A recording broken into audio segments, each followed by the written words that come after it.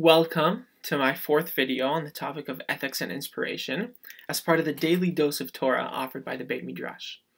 My focus is on Mesillat Yesharim, the Path of the Just, a Jewish ethical work written by Rabbi Chaim Moshe Luzzatto, the Ramchal, in the 18th century. In the previous video, I spoke about the second chapter in the book, which introduces the first character trait, the virtue of vigilance. There, the Ramchal explains how vigilance requires examination of one's ways to see if they are, if they are commendable, and how the evil inclination places burdens on a person to prevent him from being vigilant. And through wisdom, great effort, and help from Hashem, can you be successful. Today, we'll take a look, a look at the third chapter, Bebe'ul Chelkei HaZeirut, the elements of vigilance. So the chapter begins. Hine harotze lefakach al atzmo. So one who wishes to oversee his conduct and be vigilant. Shtaim hine hashkafot atzrichot lo. Two methods are necessary for him. Ha'achat, on the one hand, sheitbonen mahu hatov amiti sheivchal bo ha'adam. He needs to ponder what constitutes the true good a person should choose. And the true evil that he should flee from. So the first thing you need to examine is what's good and what's evil. Vashnia, and on the other hand, alamasim asher the deeds that he himself does, lirot im he miklal hatov or miklal hara, to see if his own deeds are good or evil. Vize bishat maaseh v'shelo bishat maaseh, and these fall into two categories: at the at the time of the performance of the deeds and regarding past deeds. So there's on the, on the one hand, there's examining what's good and what's evil, and on the other hand, it's examining your own goods, whether they fall into good or evil.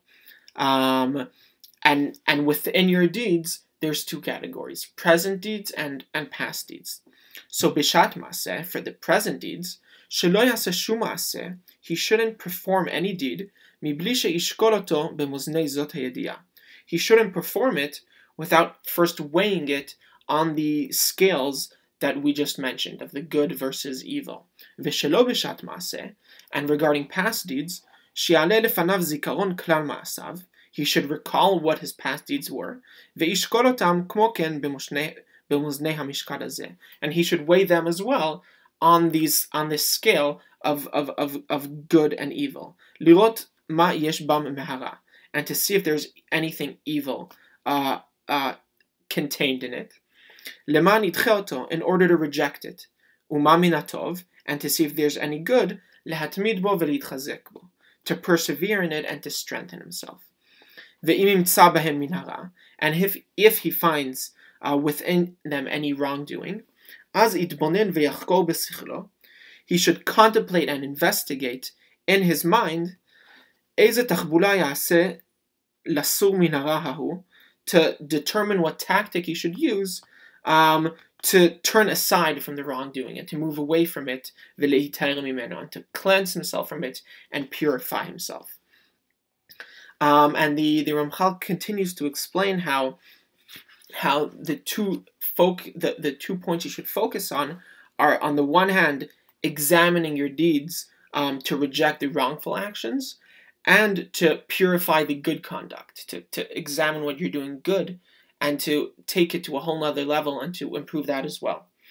And that's the that's the beginning of this chapter, and he sums up this section uh, by saying klal hadavar. Uh, in summary, masav. A person should examine his actions, kulam, all of them, al drachav, and oversee his ways.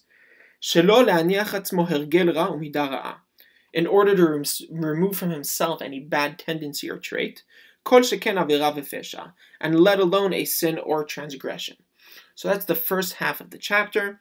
And the second half of the chapter, the Ramchal discusses how you should set aside um, set times uh, in order to to examine your ways and to and to oversee what you had done and how you can improve it.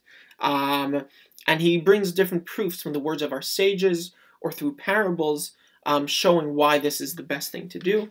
Um, he also uh, goes a bit deeper into something he mentioned the last chapter, the the the difficult the difficulty that the evil inclination uh, brings and the confusion that it can cause a person.